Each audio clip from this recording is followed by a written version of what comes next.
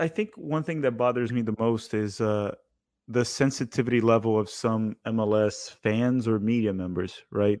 The tweet we put out was essentially just saying we can do better, right? There's a lot of untapped potential in the United States. And even I think Manuel Veth pulled up some stats like supporting us, saying, yeah, there's a lot to grow here.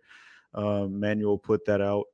And what happened essentially was um, can you real quick? I don't mean to cut yeah. you off. Can you read what Manuel tweeted, Manuel Veth? Because um, I thought that was fascinating, just to show people how much soccer interest there is in this country. It's on your tweet. Yeah, Manuel put this. He said 130 million people in the United States follow. He said football, soccer. That's what he meant. 25 million active players. 18 million of those under 18. I know what you mean. A lot of untapped potential.